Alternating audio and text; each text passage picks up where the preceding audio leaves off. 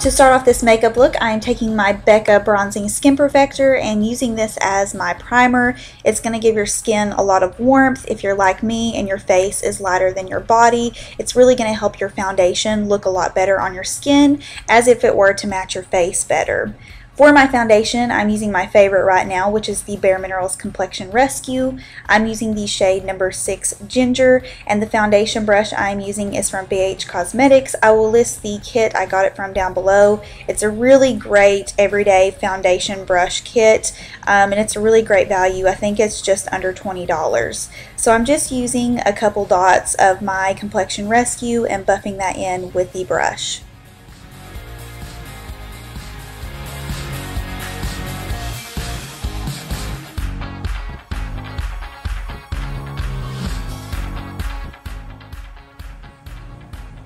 For concealer, I'm using one of my recent favorites, which is the MAC Select Cover Up. You guys know I've probably used this in my past like three tutorials.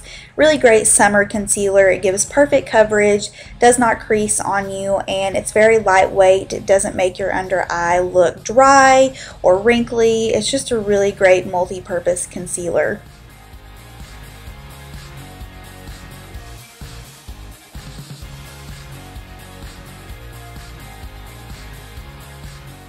Another product I am so obsessed with recently is this Perricone MD No Bronzer Bronzer. As you can see, it is so good. I just absolutely loved it. I've already used it in a couple videos and I'm using that again on an angled BH Cosmetics foundation brush and I'm just buffing that into my skin.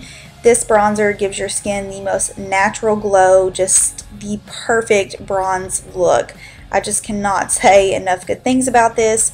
It's so easy and seamless to work with and I think anyone would love this especially for the summertime when you want that golden glow.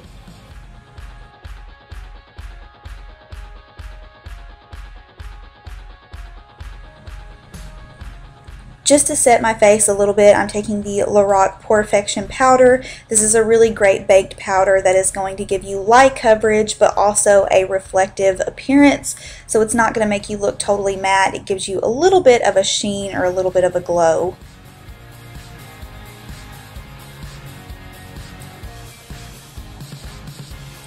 To further warm up my skin, I'm taking my MAC Mineralized Skin Finish Natural and Give Me Sun, and I'm just going to go over the areas I've already bronzed. I think my face needed just a little bit more bronzer just to give me a little bit more life, and I'm using the Target Up and Up powder brush to apply this.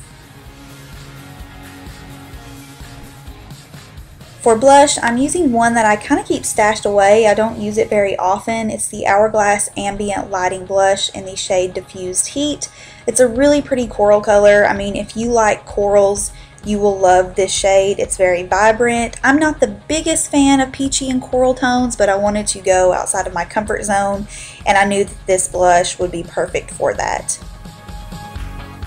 For the highlight, I'm using my Becca Shimmering Skin Perfector in Opal. Just kind of whatever you've got laying around, pick up whatever your favorite highlighter is. Sometimes I like to use the Mary-Lou Manizer from the Balm.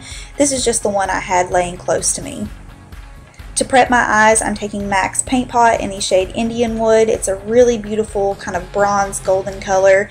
If you don't have this paint pot, you could opt for one of the Maybelline Color Tattoos. Um, the Barely Bronze, I think is what it's called. That one would be really similar, or I think they also have a gold one. Either of those will work. We're just using this as a base. Then I'm going in with my Bare Minerals Sexy Neutrals palette. I absolutely love this shade and this palette in general. I'm using the really pretty bronze golden shade. I will have the names listed down below for you guys. Um, and I'm just tapping that on top of the Indian Wood paint pot. This combination will seriously make your eyes look so beautiful and golden. If you love bronzy golden shades, you're going to love this combo. And I'm just taking a clean fluffy brush and diffusing the edges so I don't have any harsh lines running through my crease.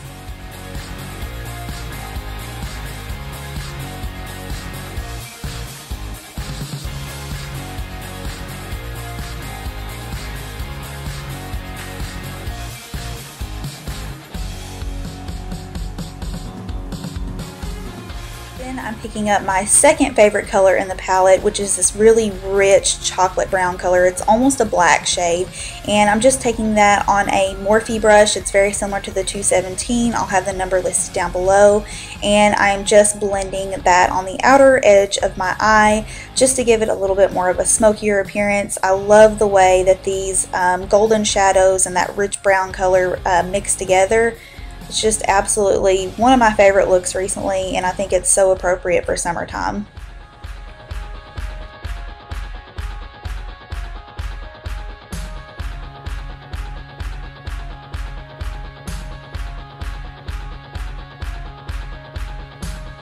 Then I am taking the Butter London Winked Eye Pencil in the shade Twigged.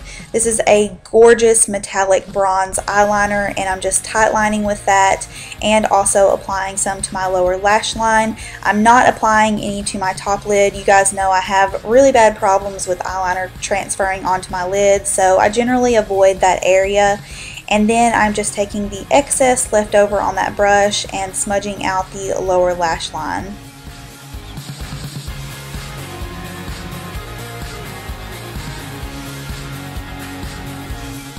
After that, I just applied my favorite mascara for the moment, which is the Bare Minerals Volumizing Mascara. This is the Flawless Definition Volumizing, and it's just what I have been using recently. I've been trying to stick with one mascara and one mascara only um, until it runs out, and this is the one that I've been using. It's a long-time favorite of mine, and it I think it does give my lashes really good volume.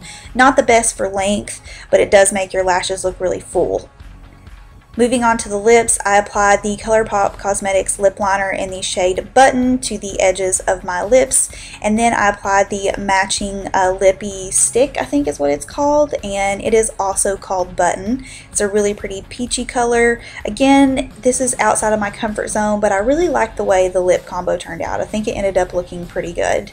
And to top that off, I'm taking a Mary Kay lip gloss in the shade Teddy Bear. Really random, but it looked really pretty. And after that, the look is complete. I hope you guys enjoyed the video. Uh, keep in mind that I will have a tutorial up on this hairstyle for those of you who are interested in it um, in the next video to come, or it may be before this video. Thank you guys so much for watching, and I'll see y'all in the next one. Bye!